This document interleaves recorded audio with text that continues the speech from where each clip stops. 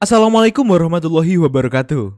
Halo sobat Sitokain. Kembali lagi bersama Sitokain di sini. Pada video kali ini kita akan membahas topik yang berhubungan dengan video Sitokain sebelumnya, yaitu EKG. Bagi yang belum menonton, boleh mampir dulu ya guys. Nah, topik yang kita bahas pada video hari ini adalah aritmia. Apa itu aritmia? Jadi, aritmia merupakan gangguan konduksi listrik jantung yang bisa kita lihat pada EKG.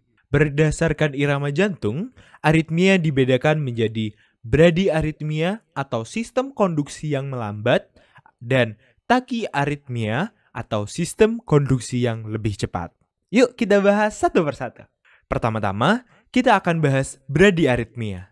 Salah satu contoh dari bradiaritmia sendiri adalah AV block. AV block ada macamnya loh guys. Ada AV block derajat 1, derajat 2, dan derajat 3. Lalu gimana sih cara membedakan setiap jenis AV block? Sobat Sitokain perlu ketahui bahwa setiap AV block memiliki prinsip masing-masing. Misalnya, pada AV block derajat 1 terjadi karena konduksi listrik menuju ventricle terganggu yang ditandai dengan pemanjangan PR interval lebih dari 0,2 detik. Namun, jarak PR interval pada semua gelombang selalu sama. Sedangkan pada AV block derajat 2 ini lebih parah dari derajat 1 loh guys. Sehingga konduksi listrik bisa saja tidak sampai yang ditandai dengan hilangnya kompleks QRS atau disebut escape bit. AV block derajat 2 dibagi lagi menjadi mobit 1 dan mobits 2. Pada mobit 1, kondisi escape bit yang diawali dengan adanya pemanjangan PR interval secara progresif Sedangkan pada Mobits 2 bisa terjadi secara tiba-tiba. AV block derajat 3 terjadi karena atrium dan ventricle sudah tidak ada koordinasinya yang ditandai dengan gelombang P yang berjalan sendiri dan QRS yang berjalan sendiri. Nah, sekarang kita akan belajar tentang takiaritmia. Takiaritmia dibagi menjadi dua juga, yaitu narrow QRS complex yang ditandai dengan durasi kompleks QRS kurang dari 0,06 detik dan wide QRS complex yang ditandai dengan durasi kompleks lebih dari 0,12 detik.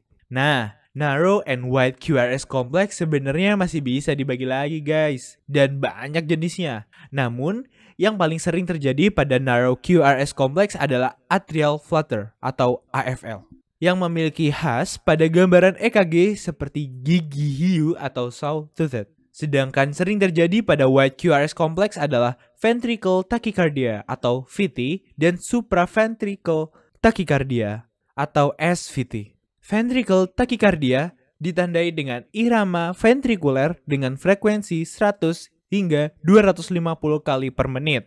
Dan gelombang P terlihat tetapi tidak ada asosiasi dengan kompleks QRS. Sedangkan untuk supraventricle tachycardia atau SVT ditandai dengan irama ventrikuler dengan frekuensi 140 hingga 280 kali per menit. Namun, gelombang P tidak jelas terlihat. Sekarang kita akan membahas mengenai RBBB atau right bundle branch block dan LBBB atau left bundle branch block yang merupakan kelainan pada bundle his cabang kanan dan kiri. Pada RBBBB ditemukan gambaran RSR di lead V1, V2. Sedangkan pada LBBB ditemukan gambaran RSR di lead V5, V6. Demikian video pada hari ini. Jangan lupa untuk di-subscribe dan di-share ke teman-teman kalian. Semoga bermanfaat. Selamat belajar.